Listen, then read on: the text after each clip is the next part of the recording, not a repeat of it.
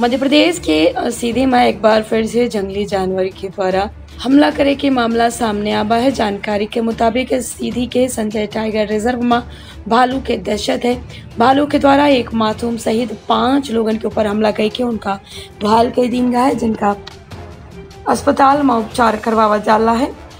विंध्य क्षेत्र के पहल बघेली न्यूज़ चैनल में पूजा अपना पंचे सभी जन का प्रणाम कही थे शुरू कही थी बड़ी खबर से। सीधी जिला के मुख्यालय से 90 किलोमीटर दूर संजय टाइगर रिज़र्व क्षेत्र के गाँव में बुधवार सवेरे एक भालू के द्वारा पाँच लोगों के ऊपर हमला कर दिन दीनगा जिससे लोग गंभीर रूप से घायल हो गए। घायल का वन विभाग के टीम के द्वारा कुसुमी सिविल अस्पताल पहुंचावा गया, जहाँ से इनका जिला अस्पताल सीधी रेफर किया है। जानकारी के मुताबिक सीधी जिला के आदिवासी अंचल कुसमीमा संजय टाइगर रिज़र्व के क्षेत्र में स्थित गाँव खरसोची बुधवार सवेरे करीब नौ बजे घर से बाहर सुखमंती सिंह को शौच खातिर निकली नहीं। इस दौरान भालू के द्वारा उनके ऊपर हमला किया महिला के चिल्लाए पर बचावे खातिर पहुँची सोनकली, लक्ष्मण और सुखलाल सिंह गोड़ पर भालू के द्वारा हमला कर दीनगा भालू के द्वारा घर में डेढ़ साल की बच्ची पर गलाए हमला कई के घायल कीनगा है। मोहन वन परिक्षेत्र के रेंजर सीएम कोल के मुताबिक ग्रामीणन के सूचना पर वन विभाग की टीम मौके में पहुँची है।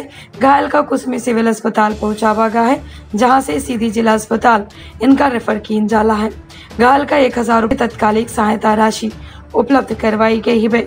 दूसरे कई क्षेत्र में लगातार हुए वाले जंगली जानवर के हमला के कारण ग्रामीणन के घायल हुए से नाराज़ लोगन के द्वारा आक्रोश जतावा गया। जिसके बाद नायब तहसीलदार नारायण सिंह, थाना प्रभारी वन विभाग की टीम अस्पताल के बाहर मौजूद रही।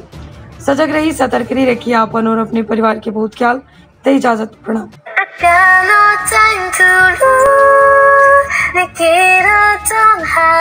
का अपना संतान के सुख से वंचित है। बहने संपर्क करी विंद क्षेत्र के विख्यात पहल टेस्ट ट्यूब बेबी सेंटर से।